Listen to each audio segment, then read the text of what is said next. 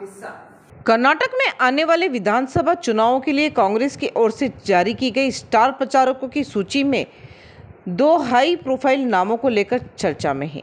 एक नाम इस लिस्ट में शामिल होने के कारण और दूसरा नाम लिस्ट में शामिल नहीं होने के कारण चर्चा में है। कर्नाटक के पूर्व मुख्यमंत्री जगदीश शेट्टार जो कि हाल ही में भाजपा छोड़कर कांग्रेस में शामिल हुए हैं, का नाम लिस्ट में है। दूसरी तरफ़ कांग्रेस के चर्चित युवा नेता सचिन पायलट का नाम इस लिस्ट में नहीं है।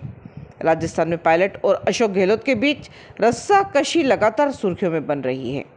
राजस्थान के मुख्यमंत्री अशोक गहलोत के अलावा कांग्रेस के अन्य मुख्यमंत्रियों में भूपेश बघेल और सुखविंदर सिंह सुक्खू पार्टी के 40 स्टार प्रचारकों की लिस्ट में शामिल है। कर्नाटक में 10 मई को होने वाले विधानसभा चुनाव के लिए जगदीश शेट्टार को भाजपा ने टिकट नहीं दिया। इसके बाद उन्होंने भाजपा से नाता तोड़ लिया। वे कई दशकों से जनसंघ और भाजपा का हिस्सा थे। वे सोमवार को कांग्रेस में शामिल हो गए। सचिन पायलट 2018 के कर्नाटक चुनाव में कांग्रेस की स्टार प्रचारकों की लिस्ट में थे। इस बार वे स्टार प्रचारक नहीं हैं। इसी के साथ बने रहिए राजनामा टीवी के साथ। धन्यवाद।